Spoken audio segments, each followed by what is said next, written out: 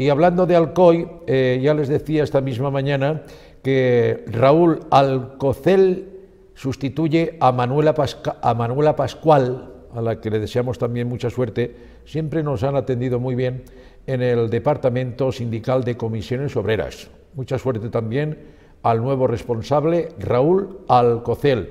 Y digo esto porque mañana se celebra el Día del Trabajador y como vengo también contándoles, aunque no será una reunión masiva, porque hay que cumplir con el protocolo, Comisiones Obreras convoca mañana sábado, a partir de las 12 del mediodía, esa reunión en el Campet de Petrer. Ahora toca cumplir.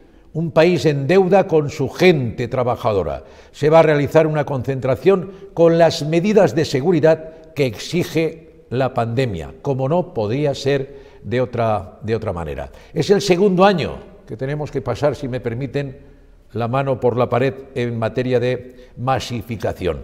Tenemos línea directa con la responsable del área en eh, Petrer, Silvia Catalán Romero. Silvia, muy buenos días. Hola, buenos días. Un fin de semana que celebramos el primero de mayo, mañana sábado, por lo que vemos de momento sin aglomeraciones, como estamos viendo en las imágenes que habitualmente eran, eh, con todas las medidas de seguridad, ¿no, Silvia? Este año, el 1 de mayo, viene totalmente condicionado y dibujado por la pandemia. Y como no puede ser de otra manera, nosotros hemos organizado un acto cumpliendo con todas las medidas y protocolos de, seguridad. Es un acto cerrado, es una concentración tasada, el aforo y, eh, bueno, de hecho tenemos un listado con nombres, apellidos, DNI teléfonos que nos ha solicitado la policía local del Ayuntamiento de Petres. Como tiene que ser. 104 personas por las restricciones y con seis personas responsables para controlar a cada colectivo, que son muchísimos los representantes mañana sábado en Petrer. ¿Qué reivindicamos en líneas generales? Yo sé que son muchas, Silvia, eh, tú también entiendes que en televisión siempre el tiempo es escaso, pero en general, ¿qué se reivindica mañana primero de mayo, Silvia? Bueno, por lo que se viene a reivindicar es eh, pues que se recupere la agenda reformista, que hay necesidad de hacer diferentes reformas en diferentes escenarios, tanto en la cuestión de desempleo, fiscalidad, pensiones, reformas laborales, que se recupere en el caso de las pensiones el poder adquisitivo, que se le dote de suficiencia financiera al conjunto de este sistema y, en definitiva, convertir los aplausos en, un reconocimiento y una mejora de la calidad y condiciones eh, laborales de, la clase trabajadora. Menor precariedad, menor temporalidad. esos son en línea general, como tú me pedías, nuestras reivindicaciones.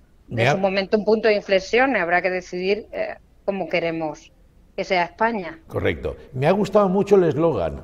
Eh, mm. Ahora ya no es tiempo de aplausos, ahora es tiempo de cumplir. Me ha gustado. Ahora toca cumplir. No queda otra en un país en deuda con su gente trabajadora, ¿no, Silvia? Sí, así es, con su gente trabajadora y con los servicios públicos.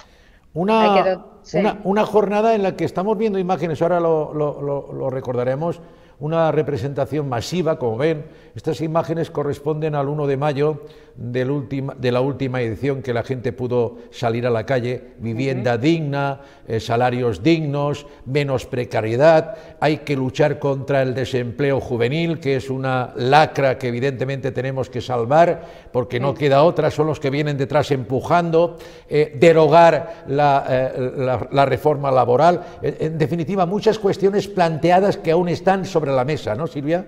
Sí, así es. De hecho, lo estás enumerando eh, y, nos recuerda totalmente a, los puntos que estamos, eh, en este caso, reivindicando este año, ¿no? Desgraciadamente. Y, seguirán así, ¿eh? Y seguirán las movilizaciones y esto no se gana solo en mesas de negociación, esto se gana en la calle. Evidentemente, dadas las condiciones de, de la pandemia, pues no podemos estar en ese escenario, y, pero bueno, esto va a continuar la, la, movilización y la reivindicación porque no, no se ha conseguido lo, lo reivindicado hasta ahora. Perfecto. Eh, hablábamos de, la precariedad laboral, Silvia, como tú bien sabes, pero también hay otro apartado que me ha gustado mucho y es, eh, como dice en el eslogan, manden que mande, las pensiones no se tocan. Es decir, otra defensa, reivindicando pensiones dignas, ¿no, Silvia?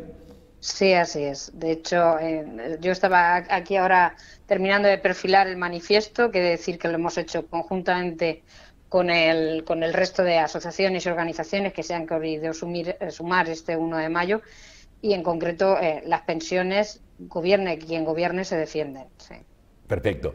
Bueno, pues eh, aprovechando que tenemos a la, representante sindical, Silvia, convendrás conmigo que ha habido una respuesta por parte, de momento, de las instituciones en la provincia de Alicante defendiendo un sector tan importante, tan primordial como es el sector del calzado. Digo esto porque todas las instituciones reivindican, piden y exigen al Gobierno ayudas al sector del calzado. Me imagino que también estará en el paquete de reivindicación de comisiones obreras. Claro que sí, todo lo que sea ayuda para, lo que es el, sector productivo, evidentemente conlleva un impacto directo sobre la clase trabajadora. Y claro que queremos garantía y claro que queremos una mejora de condiciones y claro que queremos dejar de, trabajar en la clandestinidad. Y además, de todo lo que ayude a ello, pues nos sumaremos. Hacemos ese llamamiento, pues, mañana con el distanciamiento y con todo el protocolo de seguridad habido por haber, ¿no? Mañana, Silvia, 12 del mediodía en, la, en el Parque del Campé de Petrer, ¿no?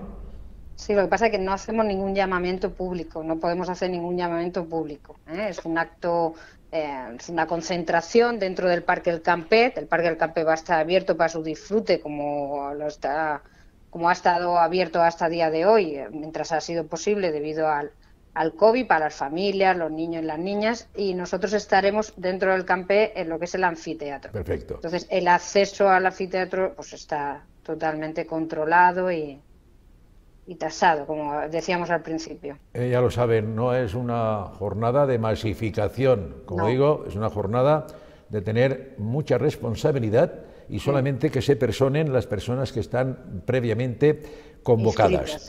¿Alguna cosa más, Silvia?